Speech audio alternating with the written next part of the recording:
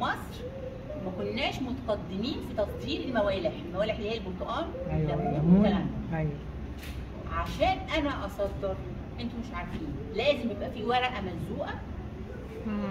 انت بتقولي لنا الكلام ده ليه؟ عشان أنتوا الصح لو لقيت الورقة اللي هي ورقة بيضة كده بتلمع دي. بيضاوية. تلمع دي. أيوه آه مكتوب عليها بصوا بقى مم. أولها بالإنجليزي يا ثلاثة يا أربعة سبعة ستة واحد معناها هذا المنتج مرشوش بمبيدات حش- ساتر يا حشرية رب. ويجب. أن نغسلها جيدا أيوة. قبل أن نأكلها صح سهلة؟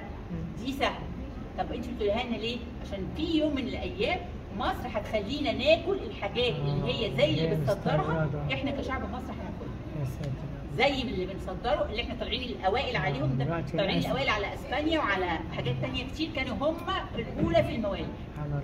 خلاص؟ آه. في حاجة تانية؟ لما بيكون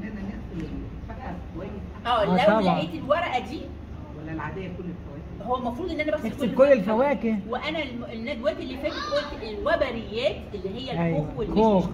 بجيب لهم ليفة مخصوص كده لازم آه. أيوه بديها. أيوه ادعك. أيوه آه.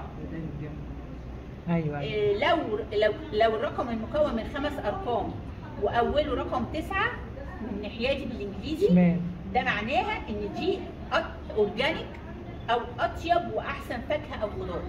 اللي هي أول رقم فيها التسعه تسعة بالإنجليزي. طيب لو الرقم 8 وخمس أرقام والرقم أول رقم 8 ده معناه إن هي معالجة وراثية. يعني كل رقم معنى أيوه. ده أنا ليه بقوله لكم؟ عشان ادقق ادقق واخد بالي. مش مسألة أي حاجة أي أي حاجة. ورقة معموله يبقى هو ده الجميل. نصحى نصحى